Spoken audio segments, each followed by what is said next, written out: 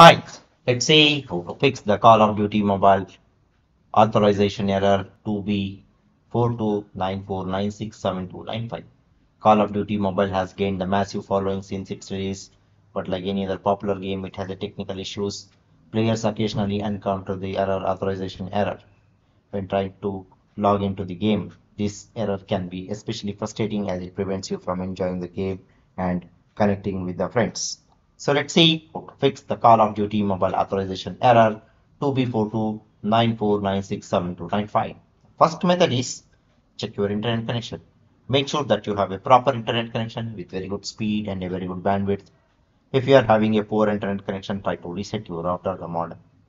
That will fix any kind of bugs or the glitches present in your internet connection. But still, if you are facing the issue, you can contact the internet service provider. Second method is use VPN.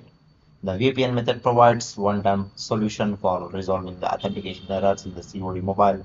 By using the VPN during the initial login, users can successfully bypass the error codes and uh, use the VPNs like Pure VPN or the Express VPN.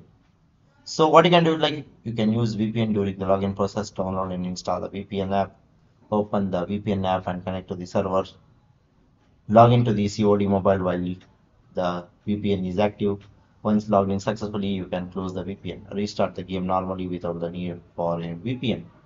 The third method is update the Call of Duty mobile, ensure that you have the latest version of the Call of Duty mobile.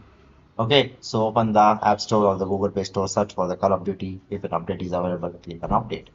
The fourth method is reset the network settings. Resetting the network settings can resolve the various connectivity issues on your device. Keep in mind that this process might vary slightly depending on your device and operating system. Some of the steps for the popular platform for Android, go to settings, navigate the system, select reset option, choose reset Wi-Fi, mobile and Bluetooth. For iOS device, open settings, go to general, select reset, choose the reset network settings. The fifth method is call off, clear the Call of Duty app caches and the data.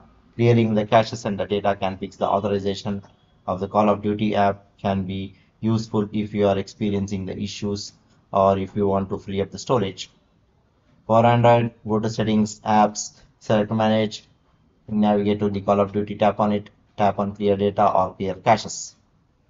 For iPhone users, go to the iPhone settings, go to the general, find Call of Duty and click on that, tap on the offload app button, reinstall the Call of Duty mobile app. Sixth method is contact the support for the Call of Duty mobile. Okay, so if you have tried all of the troubleshooting methods, if you're still facing the problem, you can contact the support team for further assistance. They are the expertise, they will help you to fix the problem and they will give you the better solution. Okay, so that's all about this. Thank you.